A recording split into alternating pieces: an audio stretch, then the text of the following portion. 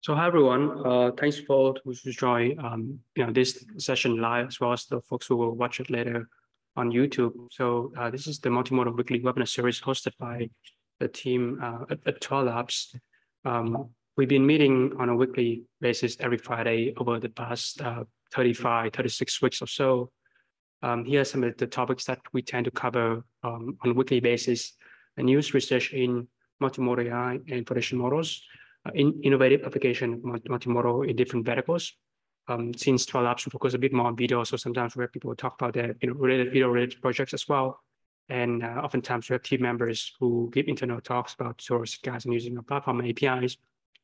In uh, some of the previous, uh, most recent session of, uh, of our series, we have, have a wide range of speakers ranging from um, you know, researchers working in fundamental uh, uh, AI and, video to uh, open source developers working on different part of the um, AI stack to you know startup founder who are actually building companies to tackle um, a certain problem using you know uh, artificial intelligence. Um, in today's session, we have um, two speakers. Um, the first one is going to be Daniel Phiri, currently a senior developer advocate at uh, and uh, he will give a talk on the broad topic of multimodal AI. Um, you know, I, I, came across his blog post on, um, you know, applying multimodal in TypeScript a while back and super excited to hear more about his process. And yeah, uh, Wilbur is definitely a, a, a, good friend of, of Twelve Labs. I've been having like, um, you know, his, his coworker Zain in this session actually twice over the past year. And so definitely excited to see more, um, you know, uh, progress with, with, with the company and the product as well.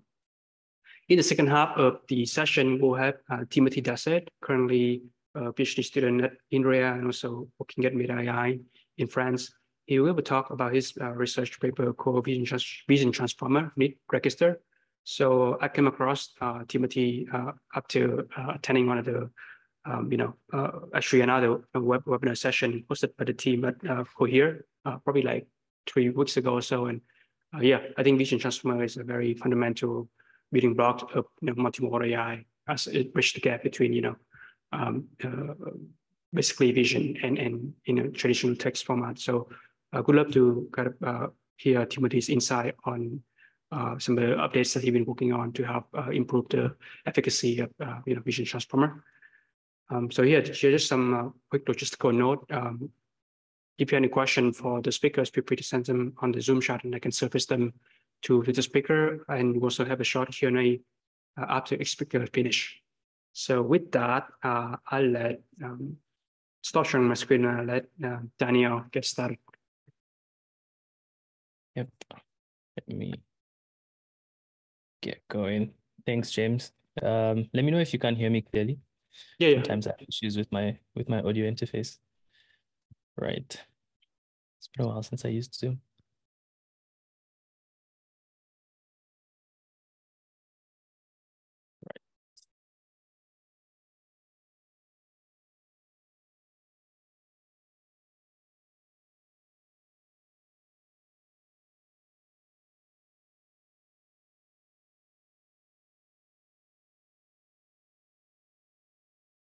Can you give me a minute?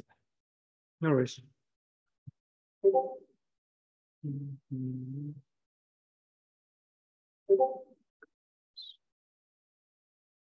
Zoom actually doesn't have permissions to share my screen. But... Oh, I'm seeing it right now. Nope. I got it. Got it. All right. Perfect. Let's put our browser there. Yep. All right. Um, thank you very much for the introduction and apologies for the slowness in starting. Um, like James said, I am Daniel Phiri from Weaviate, and I'll be talking about multimodality um, and multimodal AI in general, um, with a focus on TypeScript, um, and also giving you some insight into the project that James saw that sort of prompted him to um, have me be on here. So um, again, thanks for letting me be on here. We'll start here like I said, Daniel Phiri, um, I do developer experience um, at Weaviate, and that's crafting what the developer experience for JavaScript developers looks like um, in building um, AI applications. And so if you're not familiar with uh, JavaScript or TypeScript, this will be a little bit new. and I'll leave some resources at the end so you can get into that. Right. Um, just before we start, I also want to agree on a couple things. Um, the way I use multimodality here is um, to sort of reference interacting with or making use of multiple modalities in a specific scenario. Um, these modalities um, are usually modalities that we experience in our everyday life, like audio, video, um, text, um, and a lot of different others. So that's the first thing. And then why I'm sharing this, I think in a lot of demos that I see, um, which is great because a lot of AI is driven by the strength of the Python community. Um, I'm fairly passionate about the web as a platform and JavaScript slash TypeScript. So I think if um, we need to extend the impact that AI is having already, we need to be able to make it accessible um, for building it on the web, uh, building with it on the web rather. So um, that's that's really a lot of why I'm, I'm building these projects that I'm building and sharing on multimodality today. Right, so I, I do truly believe that we live in a multimodal world. Um, and by definition, I think I am a multimodal girl. I don't know if you get the reference. Um, but the point is everyday life is um, interacting with multiple modalities. It isn't just interacting with text, reading, um, or typing. Um, we see things, we hear things. Um, people hear us, people see us, people feel us. Um, it's a multi it's a multimodal world. Um, and so it's a bit bizarre um, that the beginning of a lot of our interactions which are with large language models um, was text only. Um, and I think the next evolution of that, and, it's proving to be, um, as the next speaker will also speak, or also like get into, um, is multimodality. And so I think it's really important that we extend this sort of like unimodal, unimodal interaction with large language models um, and expand it to accept multiple modalities. Um, because I think right now there's no denying you're on this um, platform, which means you're probably interested or already use um, artificial intelligence. Um, and so why not make it as easy as possible to actually use it um, for so these paradigms that humans actually used to. Right. Um, so I want to also skip those slides. I want to focus on something that um, we use every day, something that's sort of like ubiquitous on the internet, um, which is search. Um, and this is where the first project that I'll be demoing sort of comes from. Everything we do on the internet starts with search. Um, and for a long time, a lot of our search has been keyword based, uh, which limits our interaction in this world that we agreed was multimodal, right? Um, if we want to search for someone's voice, for example, um, we can't really search Daniel's voice because it has no way of, keywords have no way of sort of abstracting the meaning behind what my voice is actually like. Um, and so that's a big problem. When we do search things, uh, when we try and search things in this multimodal world, we sort of hit these roadblocks um, it doesn't really work. And, and we, we pretend it does, and we build all these abstractions, um, like adding metadata to different uh, media types and trying to run keyword searches over that over the, that metadata. Uh, but that doesn't particularly work. Um, and this is exactly what it looks like. We're limited to this like unimodal paradigm that isn't uh, at the core of how we interact with the world and how we interact with each other. Um, and it's overall just a general uh, terrible experience. Because remember, we live in a multimodal world. So this is where vector search comes in. Um, you might not be familiar with vector search. It's got other names, semantic search.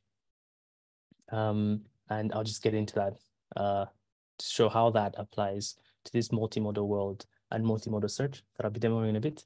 Um, and so when we type something like uh, why do airplanes fly? This is a question um, which we we could type. We pass that into a machine learning model and we create vector embeddings for that. That then gets added into a vector space, and then we can sort of like um, we can we can get results. So the core part of this is we have to have a data store of uh, different modalities. This could be video, this could be text, um, and this could be I don't know audio voice notes, songs, something. Um, and when we put that in into a sort of like um, unimodal uh, vector space, we aren't able to actually get these attributes, these sort of like rich media multimodal attributes, because uh, we only have a single modality in our space. And so the first step that we need to do or we need to make when sort of getting into this multimodal world is um, introducing multimodal embeddings. And so you have a couple really interesting machine learning models um, like bind, like uh, like ImageBind, or like CLIP, um, which are general purpose foundation models that help you sort of create these multimodal embeddings um, and you can embed your data. And that enables functionality like this. You could put in an image, you could put in a video, you could put in some audio, pass that into one of the models that I mentioned, like bind um, or CLIP, and get your multimodal embeddings, embed them into your sort of vector space, and then get back multimodal results also. Um, and so let's let's actually look at what what that looks like. I, I have an application built with with TypeScript here. Uh, it's this one. Let's go back. That's normal. Right, and so this is um, a multimodal search demo. Um, and in my sort of like database data store, I have images, I have videos, and I have audio. Um, and what I'm doing here is I'm typing uh, a text keyword and then using vector search to search in my database and then sort of retrieve data of multiple modalities based off this keyword. And so what it is, it's translating words, plotting them into a vector space, and then sort of looking for what um, semantically makes the most sense and then returning that to us. And so um, something that I could search is groups of people. And so let's see what that returns. And so now we get groups of people. We get a video that actually has groups of people. Um, I could zoom in a bit it isn't necessarily clear. Um, and we have a lot of images. Um, funny enough, it um, it returns uh, lions because after the most probable responses, or rather the closest responses for a vector search, um, it just shares the next thing that's closest also, uh, which is why um, hybrid search is also a really cool thing, which I will not be demoing, but we'll leave links to. Um, interestingly enough, we could search um, just to get a good idea of the actual semantic meaning that is captured here. I could search something like uh, chirping, which is the sound birds make, chirp. Um, and so because of that, um, uh, that sort of like embedding process and embedding those that data and information into the database, uh, there's the understanding that a chirp is something that a bird makes, and so it makes the relation that it I'm probably looking for um, birds. And I don't know if you I have audio streaming through here, but you should hear some chirping. Um, I have the videos um, and pictures of birds. I think I have something for lions also. Um, or uh, bark, which should bring dog. Anyway, I think you get the. Ooh.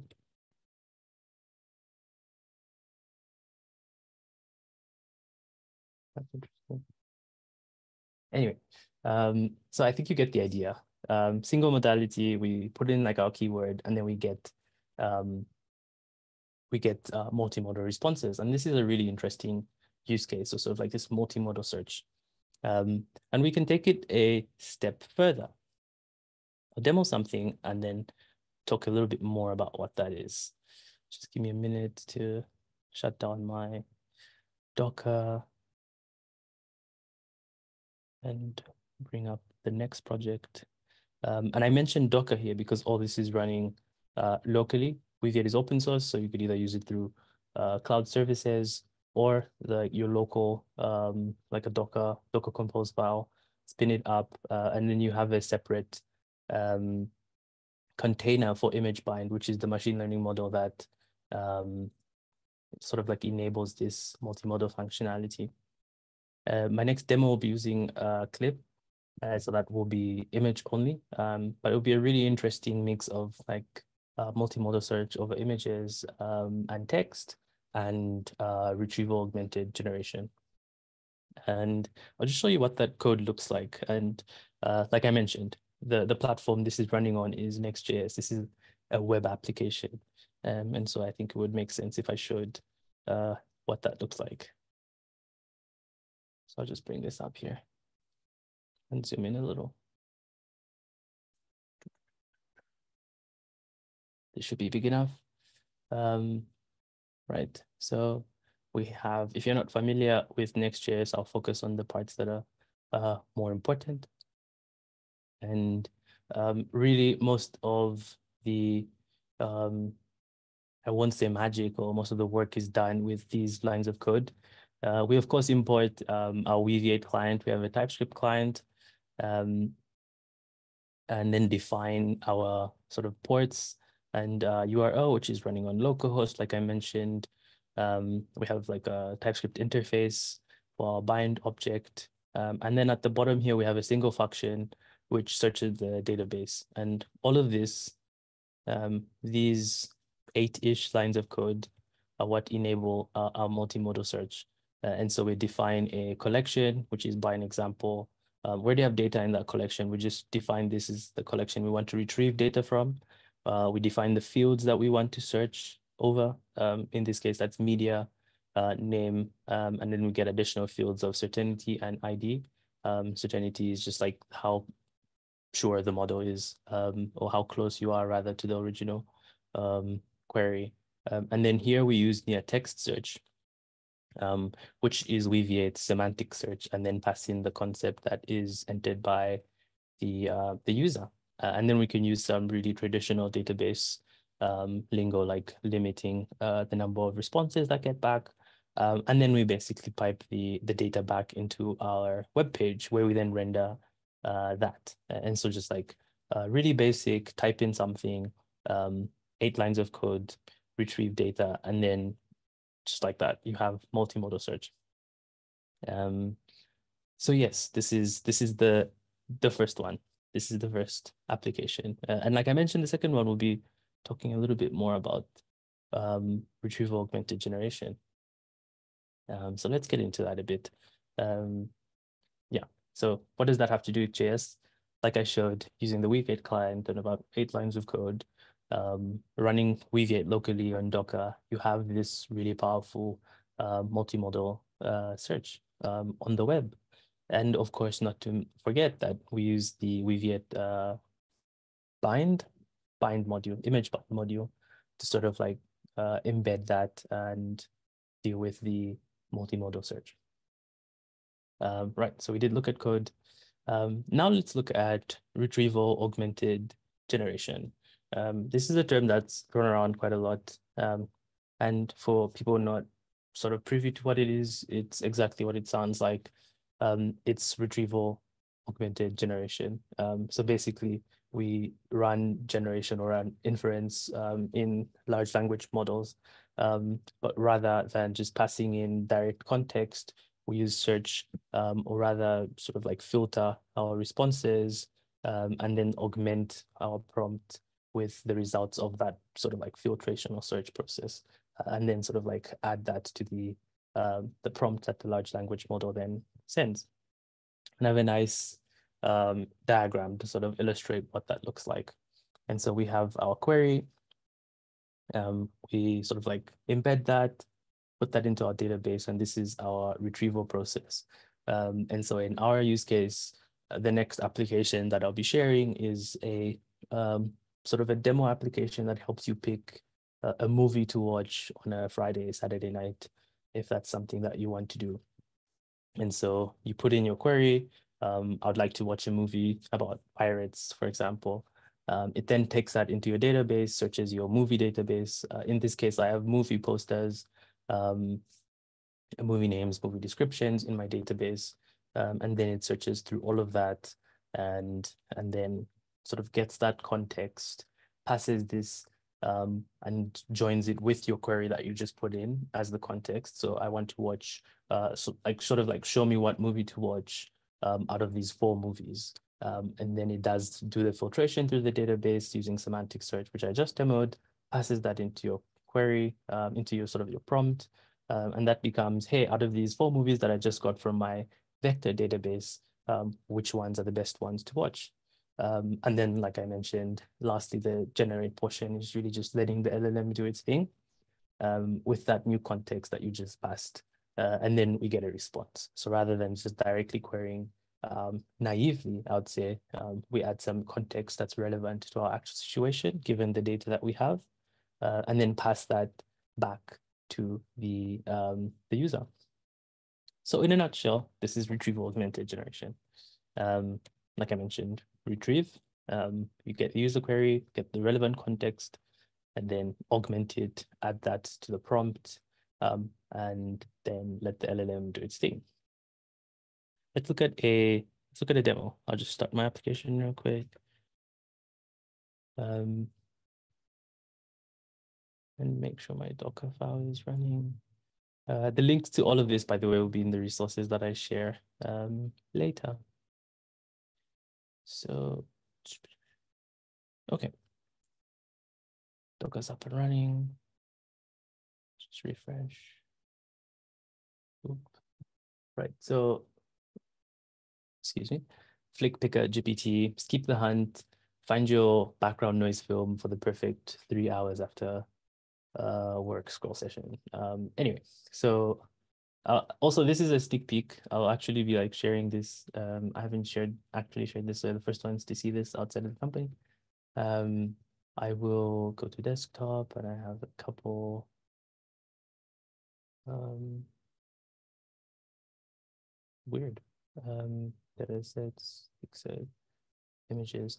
Um, so the idea basically is get an image um, and then sort of um, I'll use the word vibe. Uh, the um, the LLM sort of, uh, or rather the embedding model, um, gets the image and then passes that into um, a, an image search and then searches for images that sort of are similar um, to whatever image you take. And the idea is I could probably get my phone, take a picture of a random object, and based off that random object, I get recommended a movie to watch. Um, and I think it's a really interesting way to sort of like get inspiration, but rather uh, more than being useful, it sort of just shows the use case of something like um, a multimodal vector vector search. Um, I'll start with a random image that I've never actually used. I think this lizard is interesting. Um, and so we search our application and then we get these four movies. And so based off the lizard image that I just put up, I have these movie suggestions, um, Jurassic Park, Jurassic Park Alien. Um, and then the really like interesting thing here is I could click flick pick it and based off these four movies, um, I sort of get an, I get, get advice basically um, from the LLM on which one I should actually watch. Um, and so when I do that, um, the response here is, oh my God, you have to watch Being John Malkovich.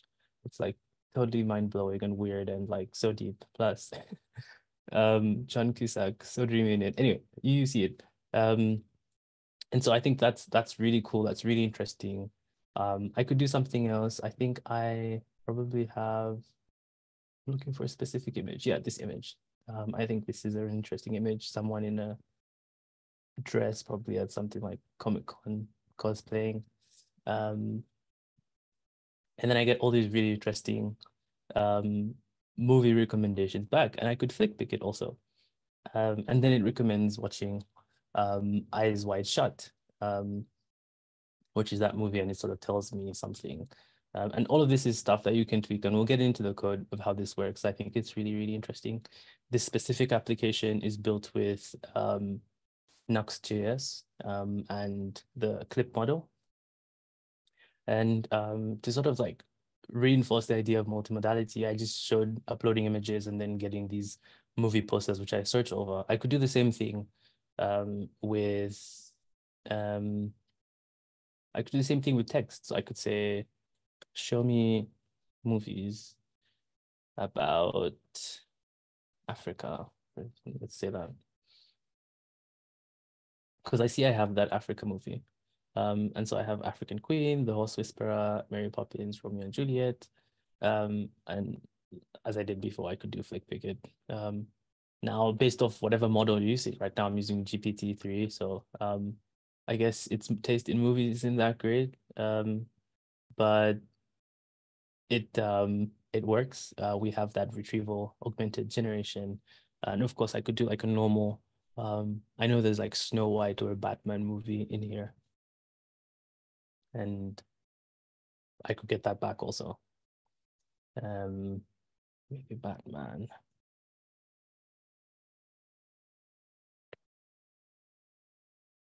Interested in seeing which Batman movie it recommends. Batman and Robin. Anyway, um, so that's the excuse me, that's the retrieval augmented generation um, in sort of like this Flick Picker application. Um, and all of this is available on GitHub. Um, but more importantly, let's let's look at the, the code that enables this application. So I will,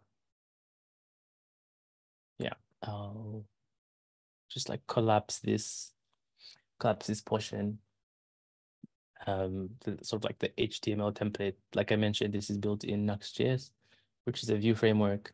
Um, and as usual, I sort of import my Weaviate TypeScript client, um, initialize uh, my client here. It's using um, OpenAI um, for the generation um, as the LLM GPT 3.5, and I'm using my local Weaviate, um, uh, yeah, local Weaviate instance. And I have a couple functions here that do some really interesting things. I have an image search and I have a, um, a text search. And so in my text search, um, I have my task here. Um, so this is sort of like the prompt that I say from my list of movies, recommend one standout and tell me why you recommended in a sarcastic teen tone. Um, and then like before, uh, you sort of define what collection you actually want to make this query from my name, the name of my collection is movie test bind. Um, and I use this with generate. With generate um, is the way we make generative queries out of the box um, in, in Weaviate. And so then we, using the OpenAI module, generative module, I plug that prompt in and then um, that's sort of like my RAG workflow. Uh, and so I have the task that I defined there um, and I can limit uh, the responses to that by using grouped properties. Um, and so basically of all the responses that I get from my search, which I do here is my text search, um, I only get the title response and then pass that to the LLM.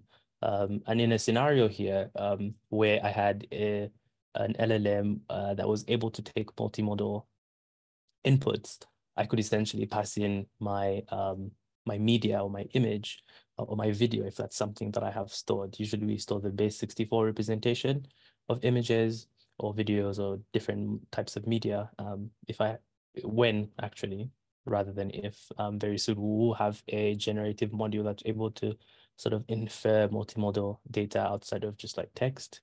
Um, and so there's definitely an update to this coming, and then you can pass that in um, and and then have your query here or concept um, that then gets the user input, um, makes the query, then does the generation, and then you get um, you get the result that I just saw, I just showed you in the demo rather. And then this is text search.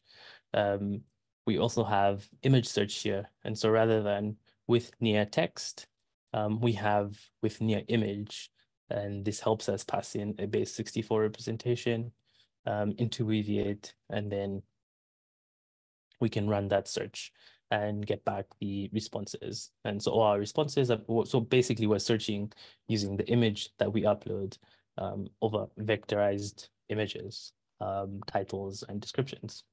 Um, and in these two functions um, are basically all of the functionality that I just showed and some um, some funky UI stuff just to make um, things load properly and and etc. And here, of course, we have like a helper function that converts the uploaded image to base 64 format.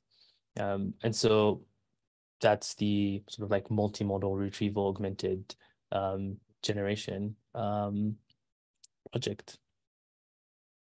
Let's, uh, let's get back into it. Okay.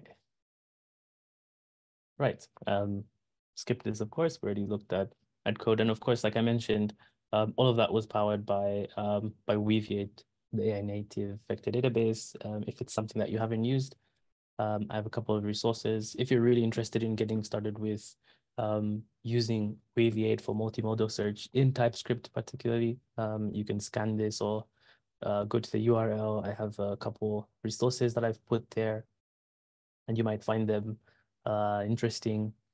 Um, and if you have any questions, um, it's also worth asking them. There's links to different platforms. Um, and also really important, uh, we've actually just launched the, the beta, our next uh, TypeScript client. Um, and so if you're really interested in building for the web, particularly with TypeScript, this is something that you definitely want to, to look at.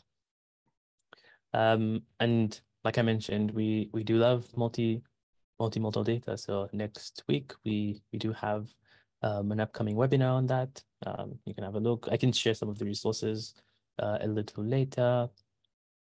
And we always have these really interesting office hours also. Um, if you want to talk to people about specific um, sort of like workflows or use cases, um, modules, um, this is the perfect time. So you can sort of scan this QR code. We'll talk about multimodality on the 6th of March. Um, and I think that should be it. Yeah, this is also a link to Weaviate Cloud Services, but there's a link to that in the previous one. Uh, and that's it from me today. Hopefully I shed some light on uh, one, the importance of the web as a platform for building applications with artificial intelligence um, and maybe broke some barriers for a lot of people who feel that it's a platform that you can't build on. Um, I actively am as is seen in the demos and uh, I think the SDK and sort of like the the brevity of it all makes it really interesting and fun to to do all this building and hacking. Um, and basically, if I can, I feel like you probably could too. At least I will try my best to make sure that you you can. So um, that's it from me. Thank you very awesome. much. I don't know if you have any questions. Awesome. Thanks, Daniel. Um, um, yeah, I think if you have any question from audience, I think it, it would be nice if uh, they can ask them on, on a Zoom chat because you know we're running a little bit over.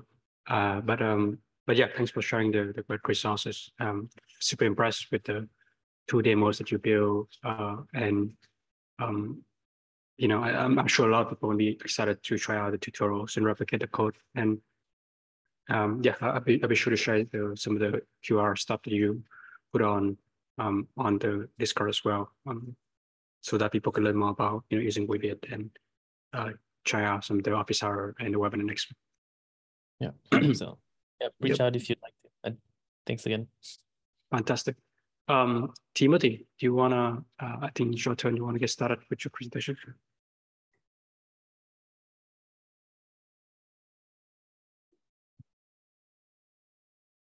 Yes. Hi. Yep. Thanks a lot. Thanks, Daniel, for the presentation. So hi, everyone. My name is Timothee Darcet. Uh, today, I'll be talking about the recent research paper we published with my advisors, Vision Transformers Need Registers. Now, it's going to be a bit different from the last talk. It's really a research paper, so it's uh, we're going to dive in in vision transformers, which are a type of model that are used to process the visual information, so images. And we're going to kind of do model debugging.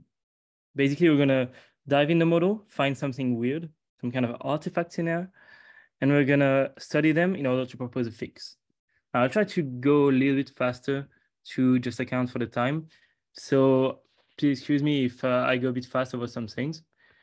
But so just as a preliminary, so that we have basically some uh, common uh, ground knowledge, so that we're on the same page, Vision Transformers is just an architecture for vision. The same way convolutional networks are also a different type of neural network architecture. Um, vision transformers have a few advantages that are very simple and quite state of the art. Nowadays, a lot of state of the art are held by vision transformers. Another thing that um, is not really mentioned often, but is very important, is that there are transformers. And transformers is also the same way we process NLP. And it's also the same way we process quite a few modalities nowadays. And this kind of convergence of architectures is very interesting. A lot of researchers are quite excited about the, uh, the fact that transformers nowadays uh, can be used to process quite a few different modalities. Sorry. Um, and this might lead us to some convergence of the different different modalities so that we can get, for example, a more unified uh, multimodal large language model. Now, let's just detail a bit how vision transformers work. the idea is it's a transformer like uh, for NLP, but you have to feed the image into a transformer in a way. So you need a tokenizer. And this tokenizer for Vision Transformer, it's a patchifier. This is what we call patchifier. It's just you cut the image into patches. Patches usually are 16 by 16 pixels with three channels. So it's uh, 3 times 16 times 16 pixel values. And just flatten all of these values into a single vector. You use a linear layer to project them, and you get vectors which are the tokens that are the input of the transformers. So that's the only thing for tokenizing. The other specificity of vision transformers is that we use a CLS token. That's a special kind of token that is added here to the input sequence of the transformer. And the CLS token is going to be responsible for gathering the information about the image and to output the classification, for example. Here you put the CLS token at the beginning, and at the output, it's this token that you will take and that you will process to give your classification. Now, that's interesting because this CLS token, therefore, is the one responsible for classification, if I can uh, say it like this, is the, yeah, sorry, just need to check the chat. Um, that's interesting because that means we can do something called an attention map. Now, what is an attention map? I need to detail that a bit um, because it's something we will study a lot. Attention map is basically a heat map of where the CLS token is looking in the image. Now, to understand what it is, it's actually quite simple. We just need to dive into one layer of the vision transformer, one self-attention layer. And basically, this is a self-attention layer. You got a few tokens at the input, a CLS token, and then the patch tokens. And they're going to be processed and take on a new value at the output. And this new value is just going to be a combination of the different values of the input, basically. You have this all these connections. And now what you can do is you can look specifically at the connections between the CLS token and the patch tokens. These are what we call the attention scores. It's what the CLS token attends to. It's where it's looking, basically. And since it's looking at patch tokens, which correspond to specific positions in the image, you can re reshape these patch tokens into the image, or you can do the same operation and reshape these values into a heat map. And this heat map is basically a heat map of where the CLS token is looking. That's really interesting. It means that the CLS token, for example, for this image is looking especially at this top left part of the image, a bit top right, a bit here. So that means if uh, it was a classification network, that means it was the relevant part for classification. Now, this might seem uh, not that important, but it's actually extremely interesting because having this kind of heat maps, this kind of attribution map, is something a lot of researchers uh, look for. It's basically giving explainability to um, our network's behavior. We can see where the behavior of the CS token is coming from. And you have a lot of techniques to get that in uh, different uh, vision models to get this kind of attribution maps. So naturally, when vision transformers came out, a lot of people tried looking at this thing, looking at the attention maps and see what they look like. And the issue is they look like this. They kind of look, look like shit, honestly. There's this uh, weird shape that no one's really understands why. Basically, you would expect that, for example, to classify this image as a cat, this model, uh, each column is a different model here, and each line is a different image. To classify this image as a cat, this model, you'd imagine that the CLS token would be looking at the cat. Well, not at all the CLS token is looking at just a few patches, which are seemingly random and seemingly useless. It's just patches on the wall. You see, it's looking very precisely at this spot on the wall. It's weird. The even weirdest thing is that there's a model called DINO, which came out afterwards, which has nice attention maps. And it was actually a very interesting thing in the original DINO paper, but no one knows why. Well, no one knows why DINO has nice attention maps and the other ones do not. And even weirder than that, when DINOv2 came out, well, I look at the attention maps and they are bad again. They're not like DINO. There are quite a few differences between DINO and DINOv2, so it's hard to say why, but still this whole behavior is very bizarre. No one understands what's going on. So today we'll try to understand a bit what's going on. And for that, we need to dig a bit into the model. So I'll just keep a bit a few initial tests that we do because they're not that important for getting the gist of the, the presentation. But for example, we can uh, look at something, which is where do these tokens appear? These outliers, these, uh, these artifacts, where do they appear?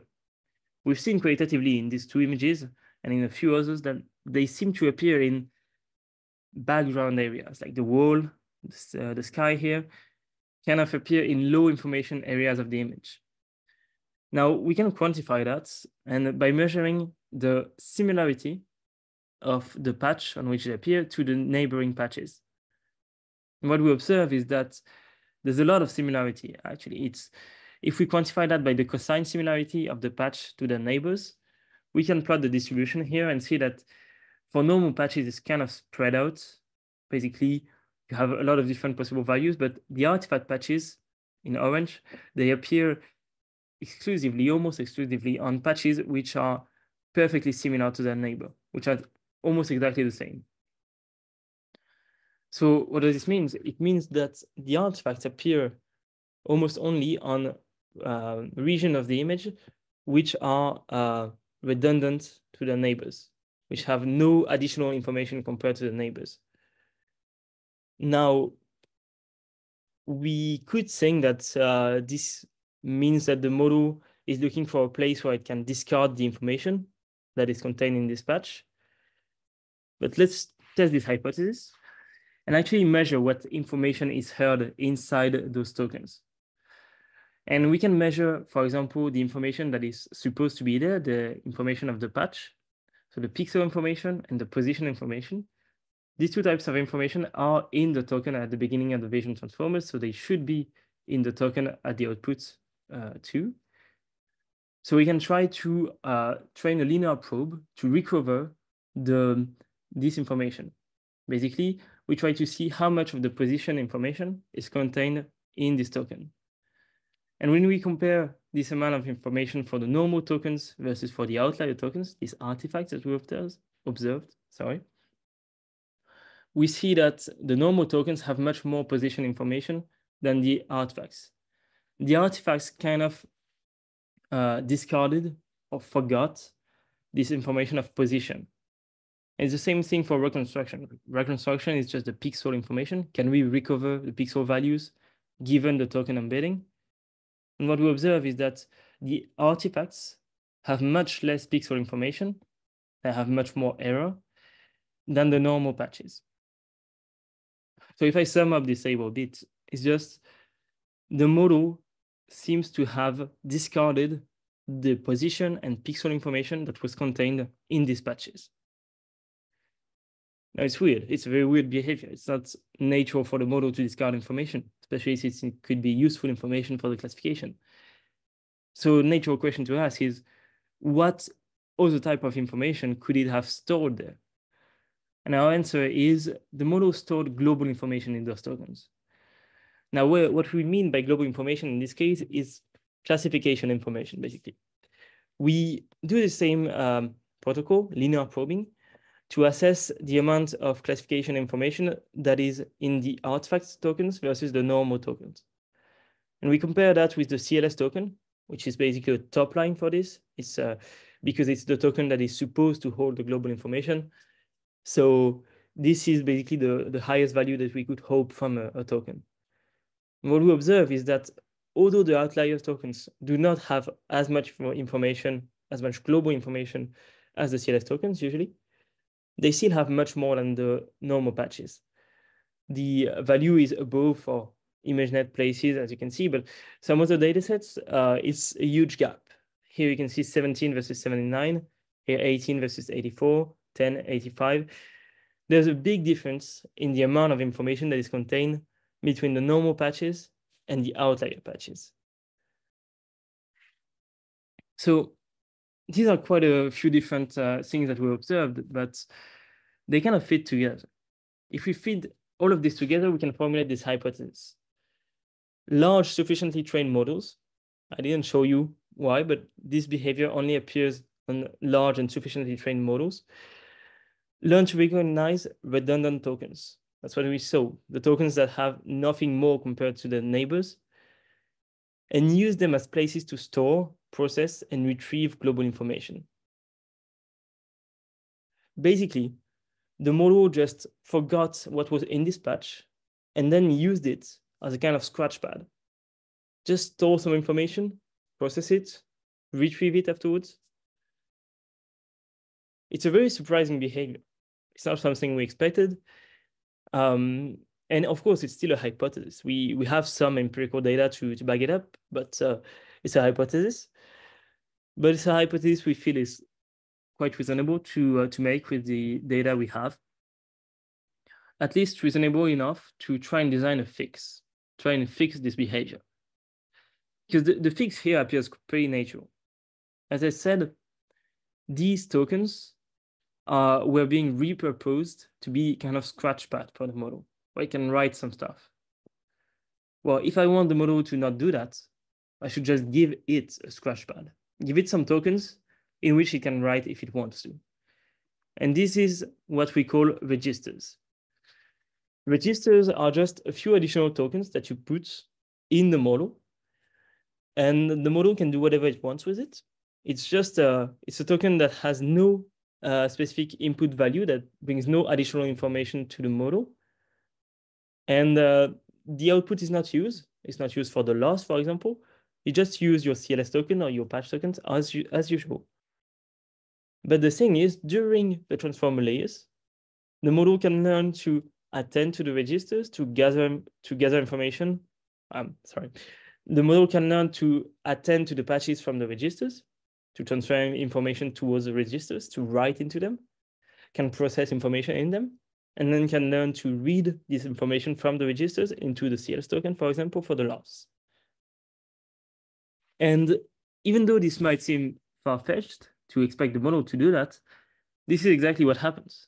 When we add registers, it fixes the attention maps completely. Just this is a model trained without registers, and you can see the usual weird shape of the attention map with these outliers. When we add one register, the attention map is completely nice. You have none of this behavior anymore because this scratch pad behavior was transferred from these weird patches into the registers. Now we verified that on a, on a few different um, training paradigms, uh, supervised, text supervised, and self-supervised. Um, DINOv2 is a pretty uh, strong self-supervised uh, training paradigm. CLIP is for text supervised, and DeiT-III is uh, a SOTA uh, supervised classification uh, method. And basically what we see is that when we add registers, this is, here I'm showing basically the distribution of the norms of the patch tokens. So I skipped a bit that to go faster, but basically these outliers, these, these uh, tokens that have a very high norm, these are the artifacts. And the fact that we have none of those outliers means that we have fixed the attention maps. And it's the case for the three models. So this fix these registers, it works in all three paradigms that we tried. So it's pretty robust, pretty uh, uh, universal fix. So that's quite nice. We can um, afterwards ask a few other questions. For example, how many registers do you want to add to your model? What we see that there's not a huge difference between one register or more registers. Uh, at least for the attention maps, one register is enough. More does not change them really. But adding a few more registers can improve the scores. Uh, for example, here, we report the downstream uh, scores on a few different uh, tasks, ImageNet classification. And when we add registers, the uh, accuracy improves. So here the, the gap is not huge. You should check the y-axis we are talking about about 0 0.4, 0 0.5. It's not a huge gap, but it's significant significant enough in SSL. It's something we we like. Um, segmentation, it improves. Depth estimation, this is lower is better. It improves too. We, see that there's a shape that is a bit different for segmentation and depth estimation here. There seems to be kind of a, an optimum this optimum we, we think is around four, and four is quite a nice number because it's still a low number of registers, which does not change too much uh, stuff about the optimization of the model, the training process, uh, the flops. So we like four. I mean, if you want to know what I use in my daily experiments, just always put four, uh, just uh, easy enough. So good enough, we both fix the attention maps and we improve the scores. So it's quite nice. And that's basically it. I mean, there's a bit of a bonus. That's just um, an interesting behavior that we observe, but we haven't studied too much. So I can't say uh, perfectly I understand this. It's just a, a, small bonus. During this whole talk, we have uh, looked at attention maps of the CLS token. And now, as you can see, when we input this image, the attention map is nice for the CLS token. It's, it's not noisy as it was before. But what we can imagine is looking at the attention map of the registers that we just added. And when we do that, in some cases, different registers attend to different parts of the image. The register zero attends to a bit everything. The register six attends to the sugar cube, this one to the spoon, this one to the coffee. You see there's, there's kind of a separation behavior where each register chooses one object and attends specifically to this one. It might seem a bit um, a bit uh, yeah, curiosity, but it's actually very interesting from a research perspective. I mean, you need to understand uh, there's, for example, this paper called Slot Attention, where uh, people try to introduce very specific mechanism to force the vision transformer to do exactly that. And it's quite interesting that here we never forced or even encouraged the vision transformer to do that, and still it did by itself. It's just an emerging property in a way. So it's very interesting. It's it does not happen very often in deep learning that the internal representations of the model are structured in a way that is humanly understandable. Here it's structured by objects. It's quite interesting. So yeah, that's all for this curiosity. But if if I just want to sum up the talk, this is what it looks like. Without registers, with registers, you can see a quite drastic improvement in the quality of the attention maps uh, for both uh, supervised, text supervised, self-supervised training on a few images. The attention maps looks really nice now. It's quite uh, interpretable, if I may say. You can see that if you want to know why the model said it was a bird, well, this is the part of the of the image that is actually relevant to the model. So yeah, thanks uh, everyone for your attention. That's all for me. But if, we, of course, if you have any question, uh, I can take them now. We have three minutes. That's no good mm. enough. Yeah, no, I, I think it's, it's this one great. Um, yeah, like uh, if the audience have any question, feel free to just put in the chat or unmute yourself. Um, I think like uh, yeah, my, I, my, I have a question. Go, oh, sorry, go ahead. Oh no, you go ahead. There. All right. Uh, is the the concept of sort of measuring the attention of the um image transformer. I don't know if I got the word right. Only for classification, or is it useful for generation also? Well, so it's only for vision transformers. So you have some vision transformer for generation. It's not. I mean, it's becoming more and more common to have transformers for generation, but uh, uh, I think most uh, generative models are often uh, using CNNs like U-Net. But for generation, if you have a vision transformer, yeah, you could look at attention maps. The issue is which attention map do you want to look at? Because basically, the idea is that at each layer, each of the to patch tokens, so each of these little squares, is going to attend to the whole image. So for example, I could like choose this token that is under my mouth and um, look at the attention map from this token and I would see that probably it's uh, attending to around itself and maybe the object. So you can look at a lot of different attention maps. It's uh, still an interesting thing to look at. But um, the thing of looking at the attention map from the CLS token to the image, uh, it's only if you have a CLS token. So then I don't think, uh, yeah, different transformers don't have a CLS token, if I remember correctly. I don't think a lot of them have equivalent tokens.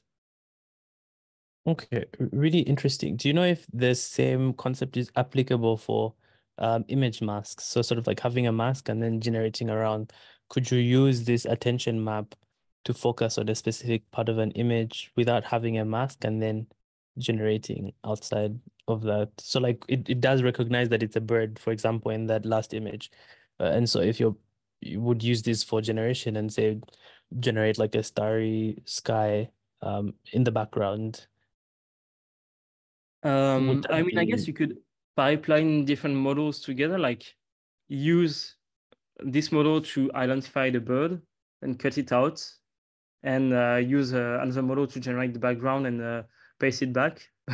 I guess that's not a very satisfying way to do that. But technically um, possible, right? Yeah, I guess it could be. Is it could be a, a way among others of generating a segmentation of the object, basically. Okay. Okay. Nice. Yeah. Thanks for the answers. It's a really interesting um, no presentation thing. Thanks. Perfect. Um, it sounds like the main the main like improvement that you have with this with this work is um, identify identify that drawback of the original vision transformer, right? And then uh, you know by adding this register concept, you have improved its performance across different tasks right here. And so like I think one implication I, I would assume is just like um, like with this change, you know, future model that leverage vision transformer backbone can also have better performance, right? Uh, on on the specific task. Hopefully, yeah. Um, the improvement in performance is not. I mean, so I've tested it on a few different um, uh, trainings. On DINOv2, there's a significant improvement, not huge but significant. On um, on other models, it's uh, the conclusion is more mixed. Uh, it does not always improve. It always improves the attention maps, but the performance is not always improved. Mm -hmm. I see. Um, and uh, related to this concept of attention maps, what, what do you think is like the the biggest benefit of having like you know uh, more representative attention maps from from uh, vision transformer? So advantage in practice. So as I said, there's explainability. Mm-hmm. Um, so yeah, basically, if you have an image of a dog and uh, model classifies it as dog, but the attention map looks like this, it gives you no information about what was important to the model, whereas this is much more informative. Something I didn't talk about is um, the fact that these artifacts are not only in the attention maps, but also in the feature maps. In the like, if you plot the feature map of uh, the output features of a vision transformer, for this image, they look like this. You have these huge artifacts here, which are very visible. And um, that's, I mean, the model still works for classification, for example, but if you want to reuse the feature map for downstream tasks, such as hmm. segmentation mm. or depth estimation, if you want to make a model that would be usable for multiple downstream tasks, then having a good feature map is very useful. And, uh, this is what it looks like after the uh, addition of registers. It's much better in mm -hmm. DINOv2, that's really what we're aiming for, uh, of making a model that we train with a global loss, but that we can reuse in a lot of different uh, tasks uh, downstream. Yeah, that's a, that's an excellent part point. Like using feature map for for downstream tasks, you know, de detection, segmentation, uh, you know, um, classification, etc. Um, yeah, I could see like a lot of opportunities to like leverage them and then you know fine tune it on for this specific task given a much more powerful feature maps. Right? Um, yeah, I, I think that's we, we went a, little, little bit over time, but um, I think uh, that's the that's a great way to conclude our, our webinar. Thanks, Tim, for for the uh, walkthrough of your, you know, the history of Vision Transformer and, and your research work. Um, yeah, the webinar will be um, the recording of the session will be available at some probably in the next two weeks or so, and I'll be sure to share that with the attendees. Um, yeah, thanks, thanks Daniel, thanks Tim for making the time to uh, sharing your work with the audience today. Um, and I, uh, yeah, I'll be sure to include all the relevant resources that you guys provided in the final recording so that folks can check out and learn more and uh, yeah, try out both, both the uh, tutorials that Daniel showed as well with the papers that Team Deep been building um, yeah, that's that's it from my end, and uh, hope you guys enjoyed. Um, have a good rest of your weekend. Thank you too. Thanks for having me. Thank you. Have a good day.